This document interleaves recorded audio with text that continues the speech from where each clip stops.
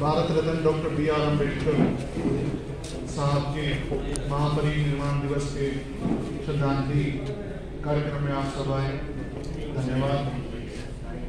मेरा मैसेज बहुत ही शॉर्ट रहेगा। मैं मैं और डीआईओ साहब कल वीडियोस देख रहे थे संसद टीवी पे, राज्यसभा टीवी पे।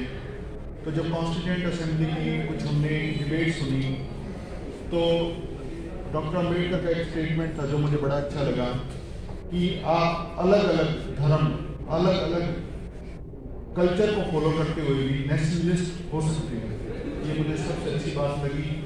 कल के उस वीडियो से मैं आप सभी से उम्मीद करता हूँ कि प्राइम मिनिस्टर साहब का ऑनरेबल प्राइम मिनिस्टर साहब का प्रोग्राम आप लोग सुनेंगे, जो बात कहेंगे, जो वैल्यूज़ हैं, जो कॉन्स्टिट्यूशनल वैल्यूज़ हैं, वो आप अपने काम में अपने जीवन में लाएँगे, उससे आपको अच्छा भी लगेगा।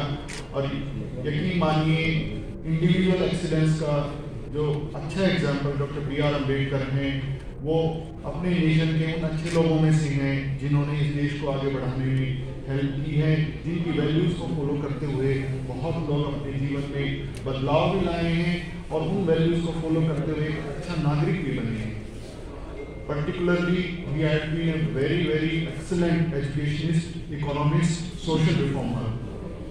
Independent India में जितने रिफॉर्मर्स हुए हैं आप यूँ मान लीजिएगा इंडिपेंडेंस के बाद रिफॉर्मर्स की लिस्ट में डॉक्टर बी आर अंबेडकर से बेहतरीन एग्ज़ाम्पल बहुत कम है। उनका कंट्रीब्यूशन हर एक सेक्शन के लिए है सोसाइटी के। उन्होंने इंडिविजुअली हमेशा एक बात कही थी मैंने उनकी मूवीज़ भी देखी हैं डिबेट्स भी सुनी है कि पहले खुद पढ़िए उसके बाद लायक बने तो फिर आपको आगे बढ़ना है औरों के लिए। समाज को give back to the society doctor Abdul Kalam ने भी यही बात कही give back to the society आप अच्छा काम करें अपने देश के लिए, अपने राज्य के लिए, अपने ज़िले के लिए, और उससे आपको जो वैल्यू क्रिएशन होता है, आप कभी भी यूँ मत सोचिए, अपनी मत सोचिए, ये सोचिए कि समाज के लिए क्या किया।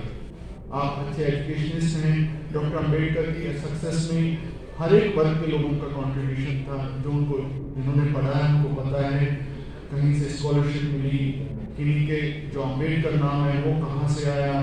तो हम ये सोचें नेगेटिव बिल्कुल नहीं सोचना, मैं हमेशा कहता हूँ, जब से मैं आई में आया हूँ पॉजिटिवली सोचिए। बाबा साहेब को श्रद्धांजलि करते हुए और याद करते हुए कि संविधान को किस तरह से जो व्यवस्था की है और उसको कार्य रूप में परिणत करते हुए हम राष्ट्र के विकास के लिए आगे बढ़े